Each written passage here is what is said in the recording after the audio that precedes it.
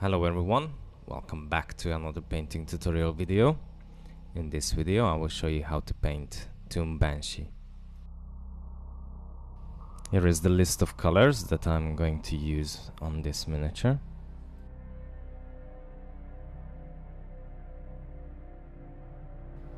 The miniature is assembled except the side skirts with the side arm and the top hair and primed in Abaddon black.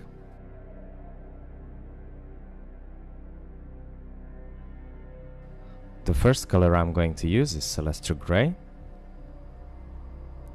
I use a small base brush and from the middle part of the skirt I start to draw downwards some lines which then I widen them out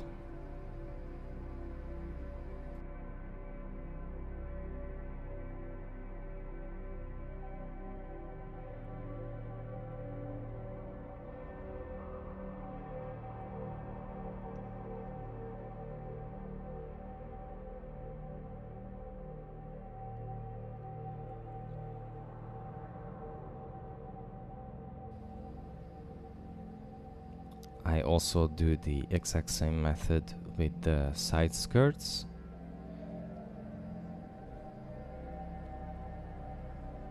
And also that small part from the top robe section.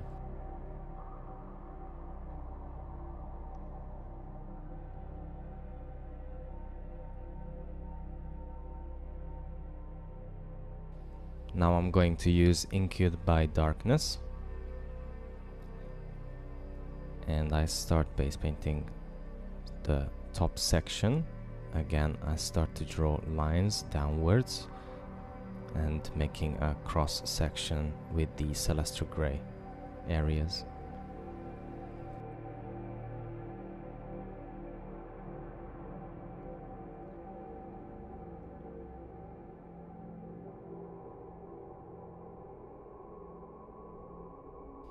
Let's not forget also the side skirts.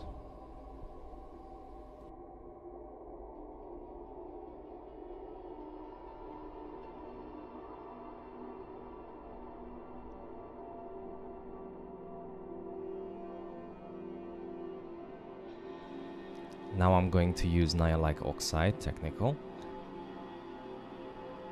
And again with a small base brush, I start to cover these extra gray areas and also start to blend the incubi darkness and the Celestra Grey area just to cover that section as well.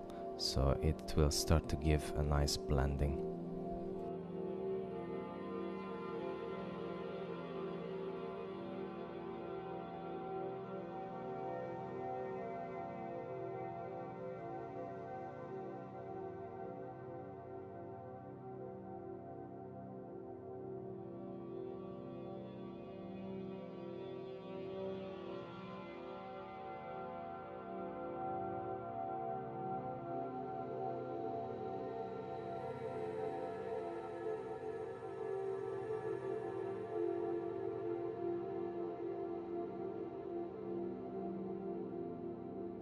Once it is completely dry, then I am going to use Ulthuan Grey.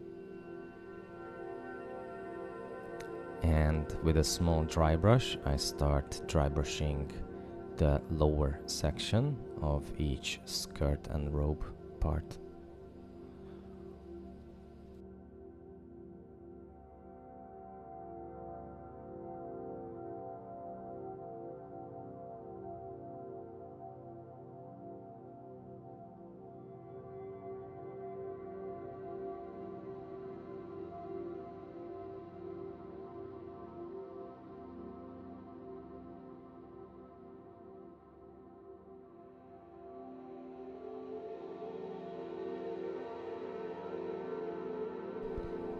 I'm going to be making a mix of Lahmian Medium Coelia Greenshade, a 3 to 1 mix. It is quite diluted, so with the first layer I just covered the whole section, including the Incubi Darkness area.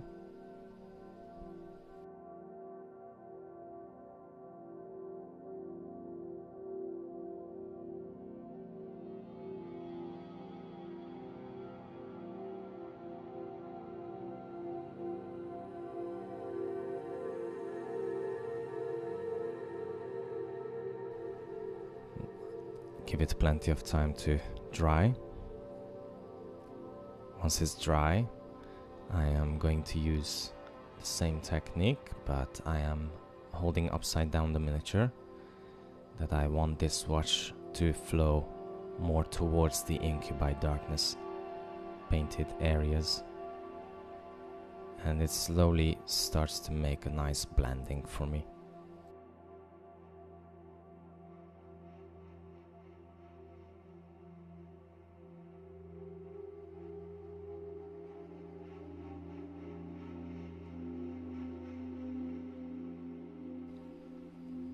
Doing the same technique again, I'm adding a third layer so that the wash is actually working for me and making a nice subtle transition from light to dark.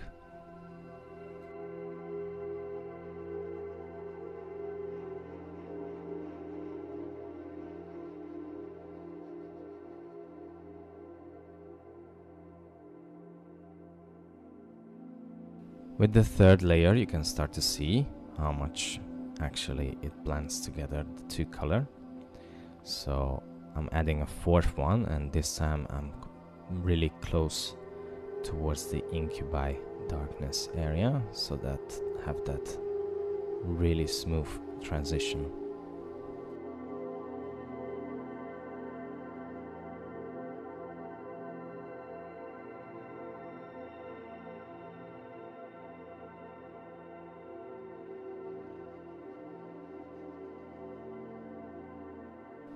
Now that I'm happy with the transition, I am going to use Kabalite Green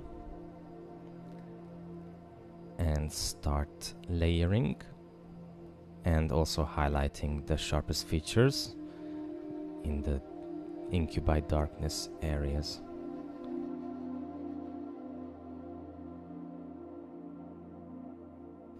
I also go just a little bit over the blending is.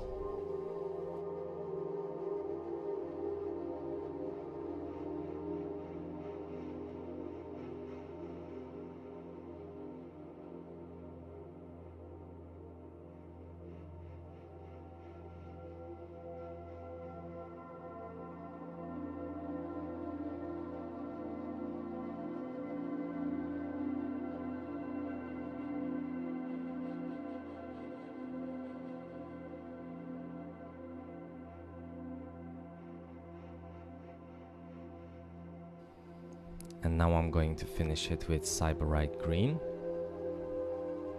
This time just highlight. And where I went a little bit over with the Kabalite Green I am blending it together from the bottom. So it really gives that nice smooth transition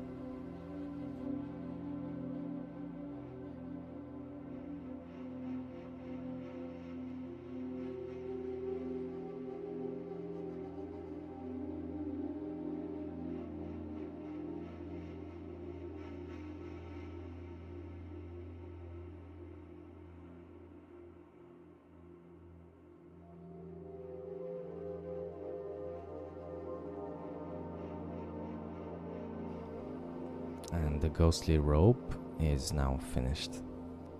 I can move on to the ghostly skin. For this I'm going to use Ionrach skin as a base color. I start covering all the Banshee skin.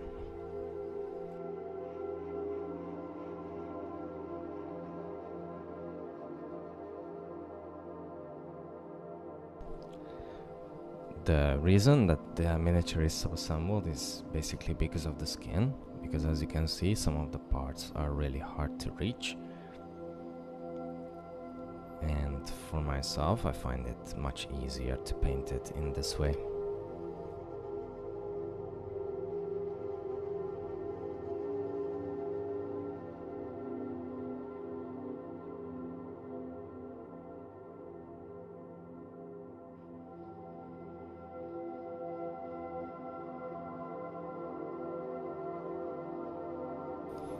I'm going to use another mix, which is Drakenhof Nightshade mixed with Lahmian Medium, 1 to 3 part ratio, and start applying it in all the Ionrach skin areas.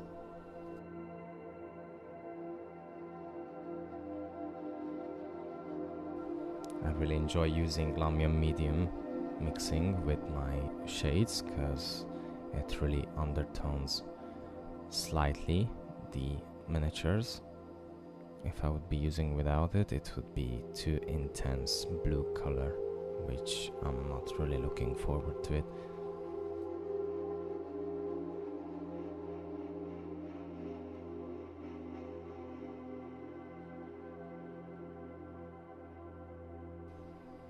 Once the wash is completely dry, then I'm going to use Deepkin Flesh.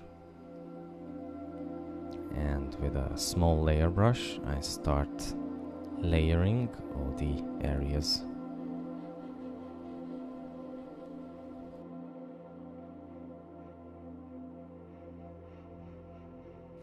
I'm trying to put extra detail on the cleavage, on the face,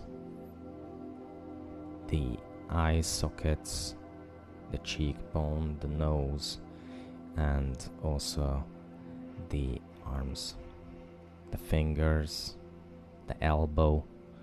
So with this color it's really nice to pop out all these highlighted areas.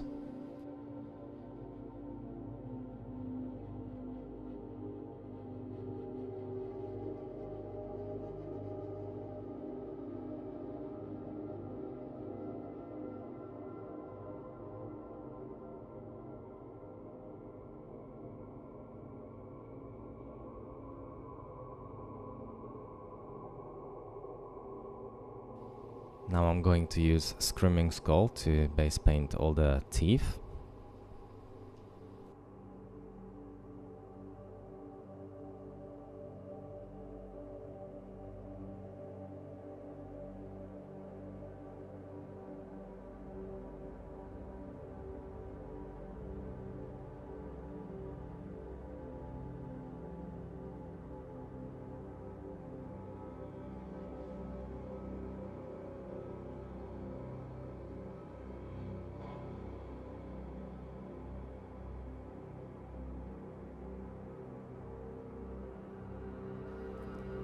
Going to use Druchii Violet uh, wash and with a small layer brush uh, I don't really use too much just barely enough to put it towards the eye sockets also around the mouth just to give a shade for the lips and also inside of the mouth so that with the screaming skull teeth it sort of blends together to give that shade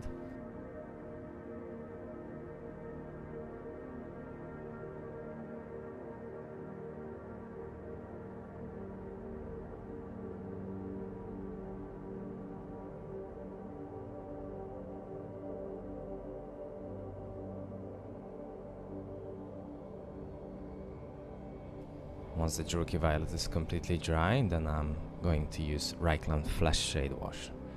And again, I don't really use too much. I mainly apply it where the darkest features can be seen on the skin, such as the cleavage. I also use a little bit just under the chin. I also apply a little bit around the cheekbone area just to give it a fleshier effect on the miniature. I also use it on the hands so that to have that nice transition of that flesh in my eyes.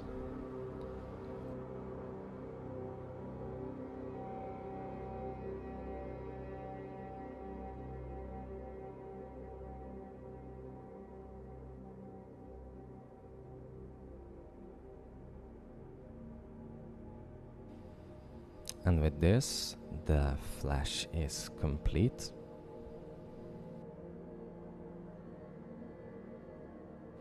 Now I'm going to focus on the corset.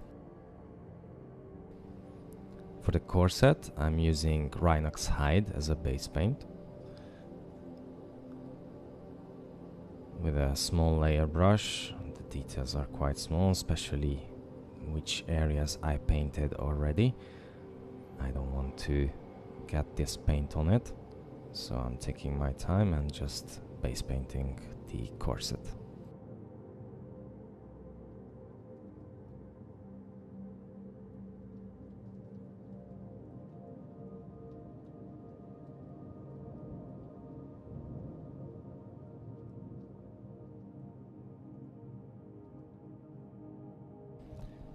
I give it a wash with Nuln Oil shade.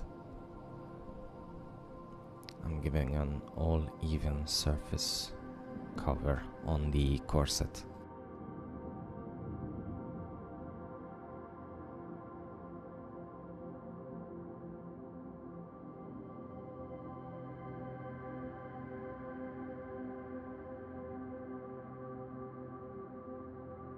Once the wash is completely dry, I am using now Gorthor Brown and start layering all the leather corset parts.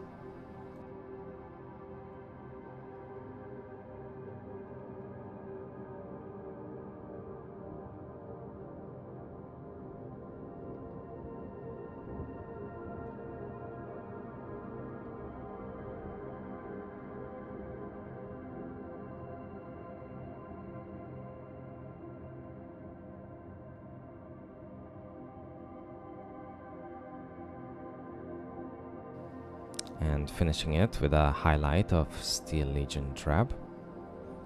With a small layer brush, I just start adding at the most raised surfaces and sharpest features. Except the lower hip part.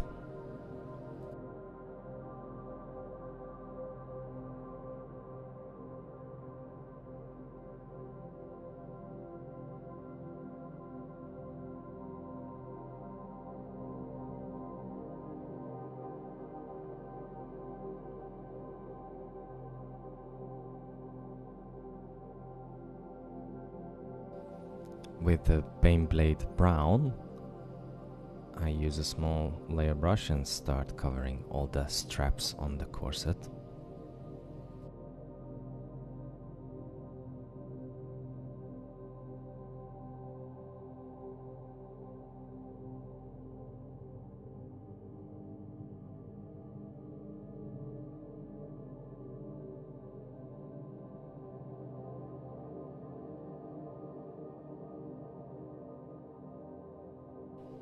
Now I'm going to use Stormhost Silver. And with this color I start highlighting the lower hip part of the corset.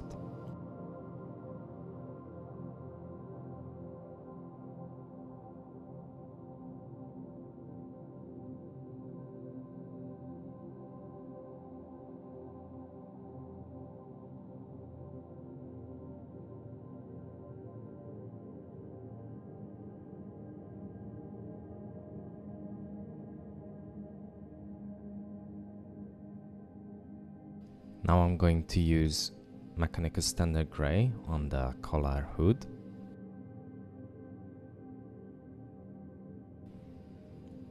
I am using an old brush, which is good for this, to dry brush these small details.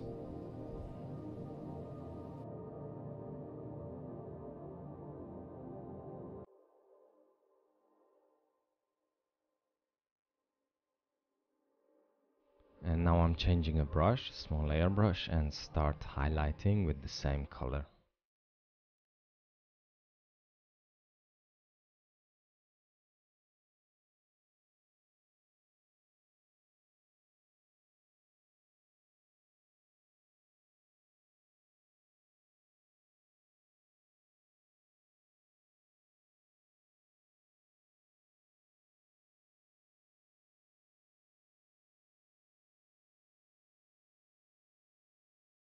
Now I can move on to the hair and eyes.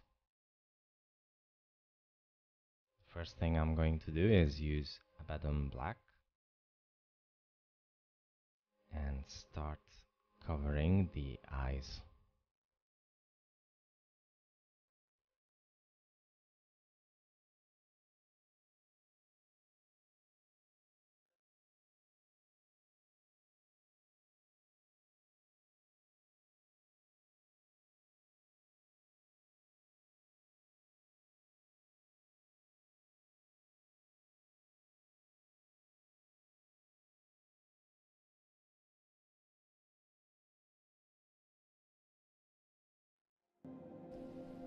Now I'm going to use Mechanicus Standard Grey on the hair. So I start base painting all the parts of the hair.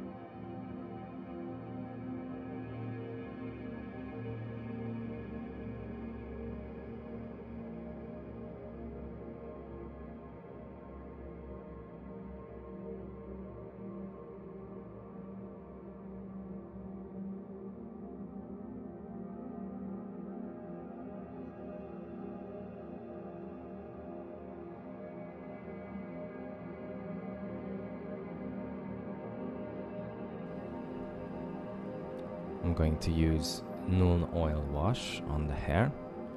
I start applying it with a small layer brush.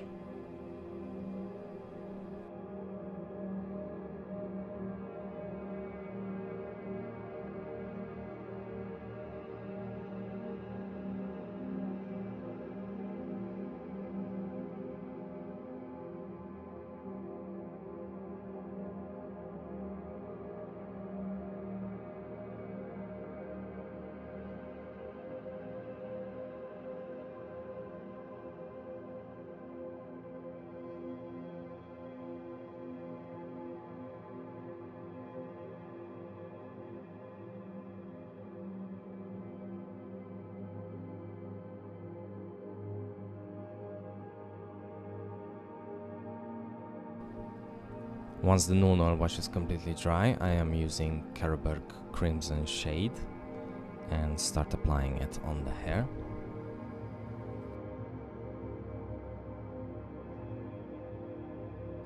Once it is dry, it is going to be looking a little bit more purple, but that is absolutely fine. That is the actual color that I'm looking for.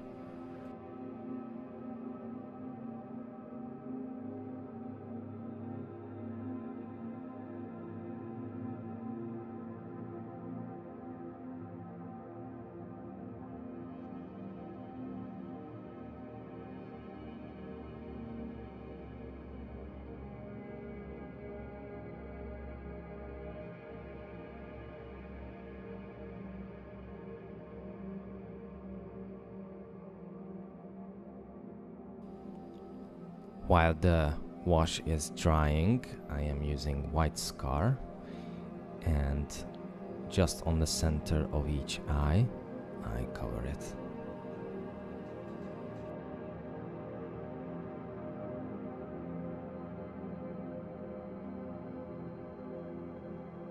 So that with the first layer of black, I am going to have on the model uh, actual eye lines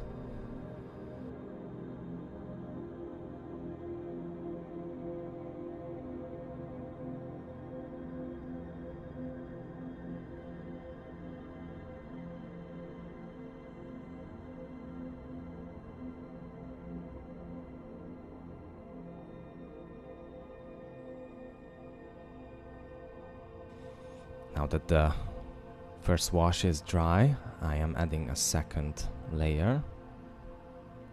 And this time I'm trying to put more towards the bottom section and also in some random areas which I would see that the hair would have a sort of shade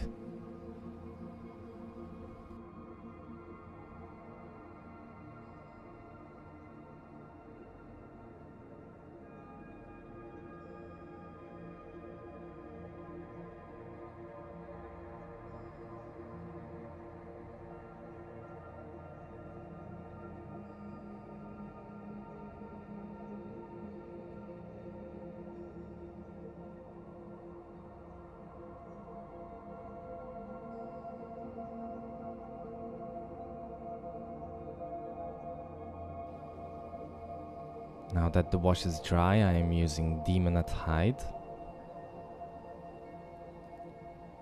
And with a small layer brush, I start layering each hair, mainly from the top areas.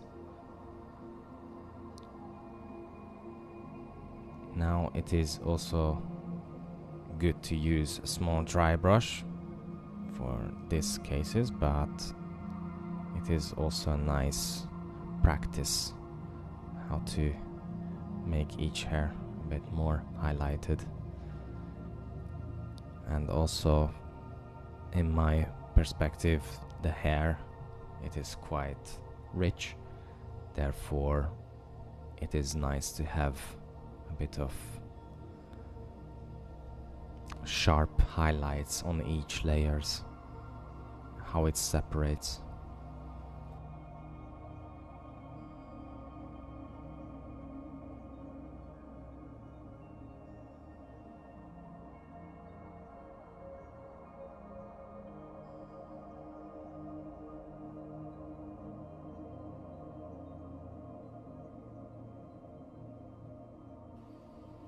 finishing it with a fine highlight of Slaanesh Grey. Now on with this one, don't need too much. I use mainly towards the end of each hair, just a little bit of over the very raised top, and on the top hair just to have the nice dividing lines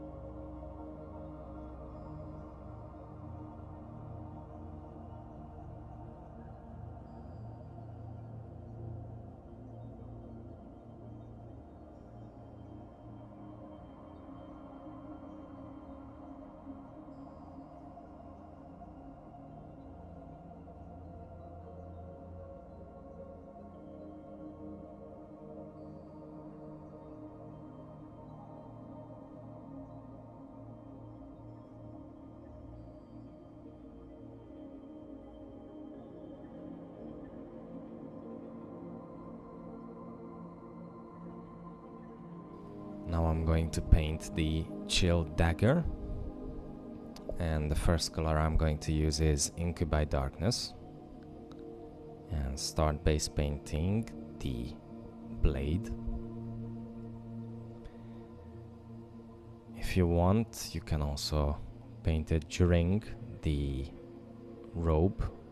However, with the richness around it with the hair, I would say it is best to do after once the hair is done.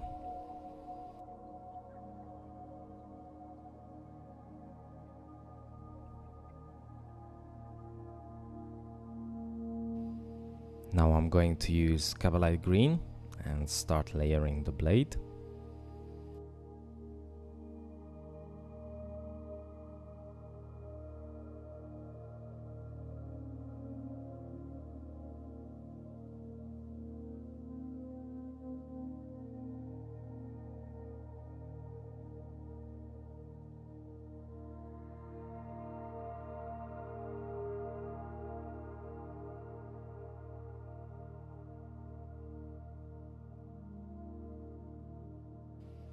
And finishing it with Sybarite Green as a highlight.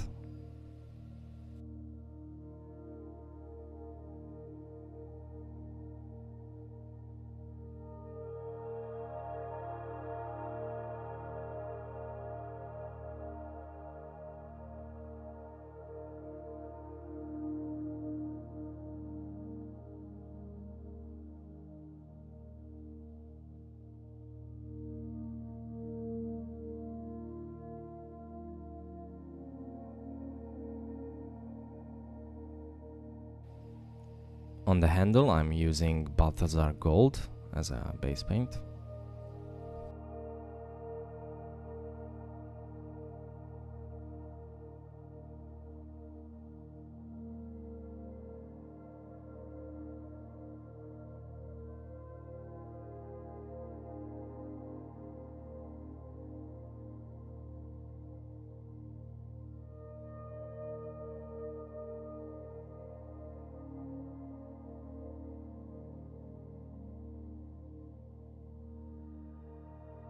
I want to leave the dagger a little bit dark and dirty, so I'm just giving a wash of Agrax Earthshade to it.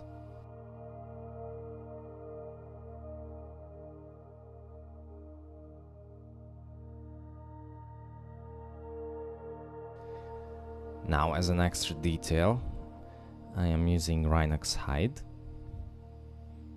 and with a small layer brush I just add a touch on each of the fingertip just to give a dirty nail to the miniature.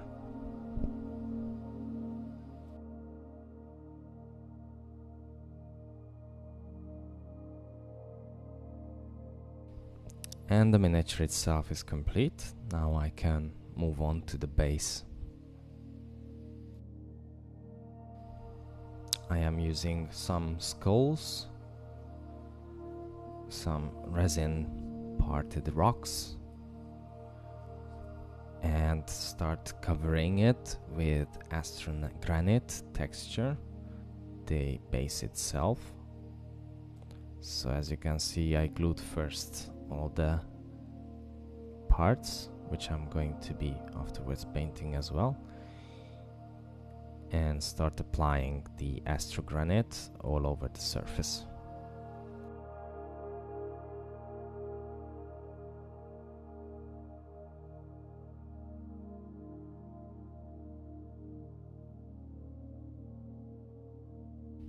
Leave it plenty of time to dry.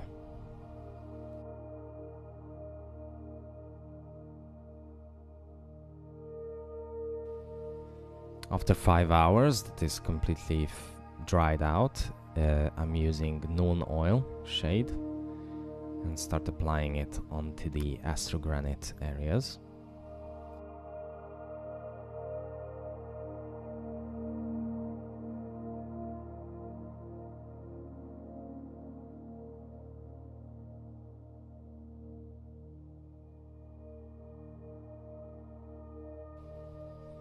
Once the wash is completely dry, I am using Mechanicus Standard Grey. And with a small dry brush, I start dry brushing the astrogranite areas.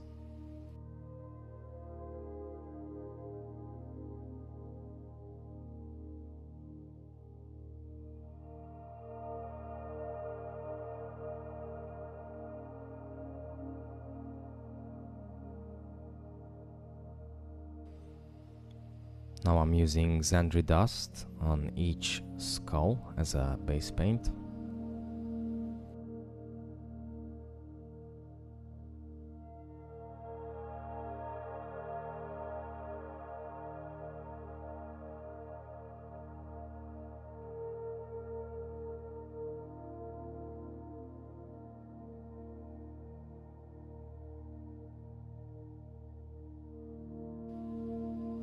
Give it a wash with Agrax Earthshade. And also I wash the resin rock parts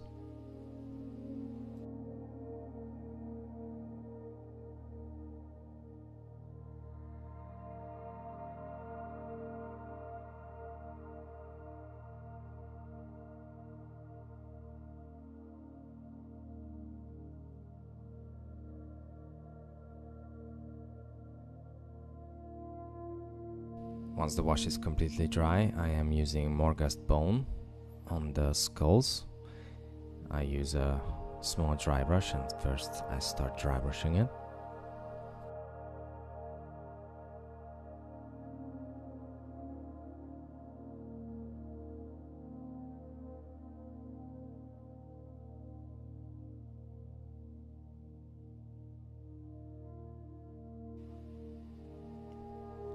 Also with dry brushing karak stone all the resin stones.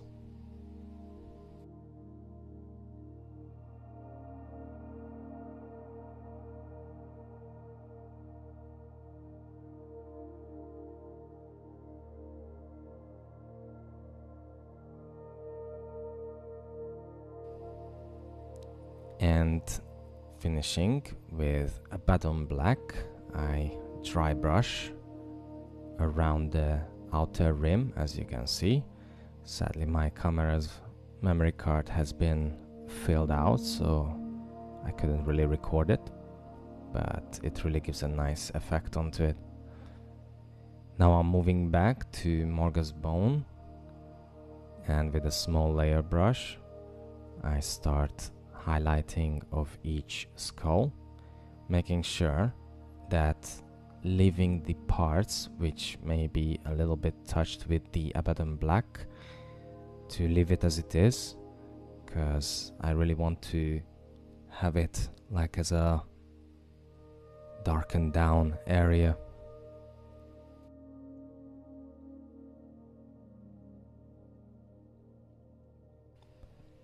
And now I'm going to use Nihilakh oxide and with a small layer brush I mainly just add at the very center where the rope meets with the surface just to give a little bit of glowing effect onto it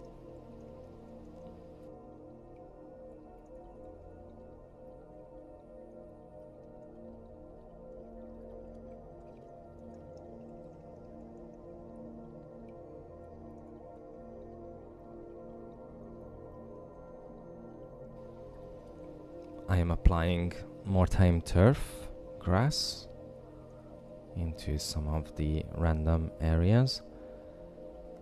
I find the grass sometimes a little bit too big, so I use a stencil and just cut it into a size which I'm happy with.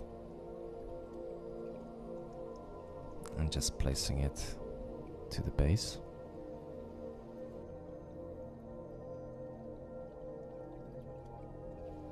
Now I'm going to use again Abaddon black and just start base painting the rim of the base.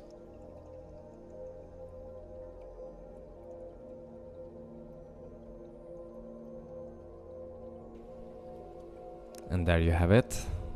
The finished Tomb Banshee is complete.